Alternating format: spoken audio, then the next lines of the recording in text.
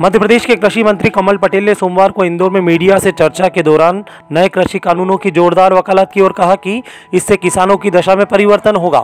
मंत्री पटेल ने कहा कि पाँच लाख लोग देश में करोड़पति है, बाकी देश गरीब है।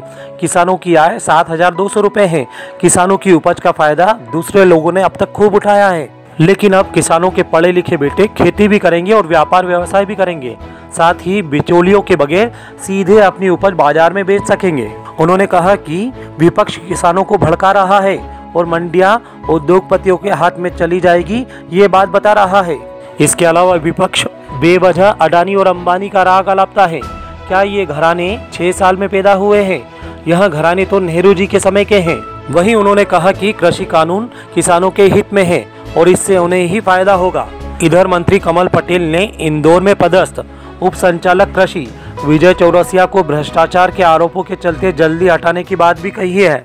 अडानी, अंबानी भैया, अडानी, अंबानी के छह साल में पैदा हुए ये नेहरू जी के समय के हैं। गलत नीतियों के कारण है। आज देखिए, आप खुद पत्रकार हैं, पढ़े लिखे हैं। आज देश की अर्थव्यवस्था पाँच लाख लोग हैं जो करोड़पति से ऊपर हैं। बाकी पूरा देश गरीब है। किसान की आय बहत्तर सौ रुपये है। साल की मेहनत कौन करता है? वो माल कमाते ही तो इनके लिए कर रहे हैं इनकी खेती अब। अब कर, अब तक कर लिया हमारे बाप दादाओं ने, अब हमारे लड़के पढ़े लिखे हो गए, और मोदी जी हैं, प्रधानमंत्री, शिवराज जी मुख्यमंत्री कमल पटेल कृषि मंत्री है। अब हमारे किसान के बेटे खेती भी करेंगे, व्यापार, व्यवसाय, उद्योग लगाए बिचौली हटा के सीधा निर्यात करेंगे। मैं बता रहा हूँ आपको, मैं खाते गाँव गया था जाट समाज के सम्मेलन में। वहाँ कांग्रेस के विधायक के प्रत्याशी थे, ओम पटेल, वो अध्यक्षता कर रहे थे। और मैंने शुभकामना देने के बाद में उनसे पूछा कि बताइए, जरा ये किसान कानून को क्या है इनके बारे में? बोले, नहीं, आप ही बता दो। तो मैंने कहा, ओम पटेल जी, आपका मकान कितने का है?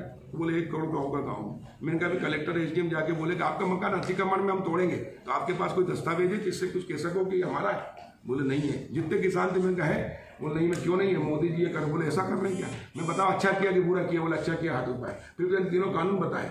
मैंने कहा, इससे किसान के हित में क्या? हित में? बोले तो अच्छी बात है। हमको तो बताया था कि गलत है कि उद्योगपतियों के हाथ में चल जाएगी। मैं कहा, नहीं जाएगा, गलत गुमराह कर रहे हैं। वो फिर मैंने सबसे कहा कि, जो समर्थन में वो हाथ ऊपर करो। शत प्रतिशत लोगों ने हाथ ऊपर की वो कांग्रेस के प्रत्याशी विधायक का खाते का, उसने भी हाथ ऊपर किया मैं जहाँ जाता हूँ, चौपाल लगाता हूँ और कन्विंस करता हूँ। और मैंने अभी अरुण यादव जी कह रहे थे, मैंने कहा, आप खरगोन आप कमियाँ बताइए, मैं अच्छाइयाँ बताऊँगा, और उसके बाद में किसानों से पूछेंगे कि हाथ उठाओ, सही क्या है? किसान तय करेगा ना।